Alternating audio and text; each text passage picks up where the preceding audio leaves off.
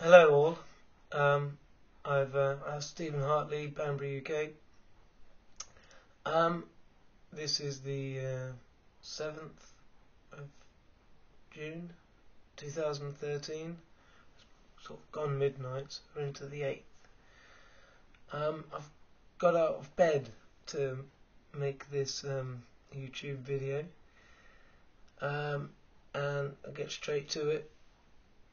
This is a another warning. I seem to do a lot of warnings that don't come true, but sort of partly could have been plausible. Um, the Bilderberg protest, shall we call it? Um, I'm, I'm almost thinking, convinced that it's a setup.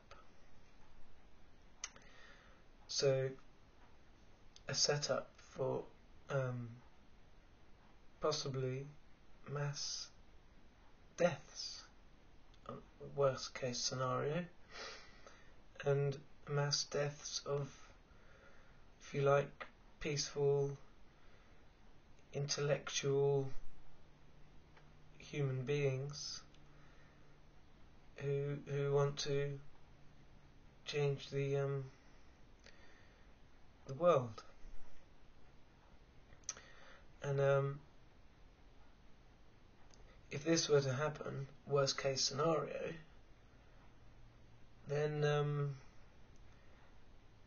then it would indeed sort of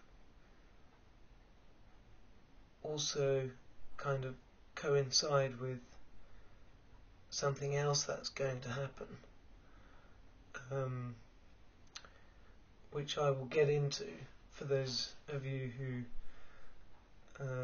like the long full theory. At the moment, all the facts are just in my mind in a kind of jumbled up order. so um, I'm going to do that in part two when I've got my tea and um, you know smoke ready. Okay, see you in part two.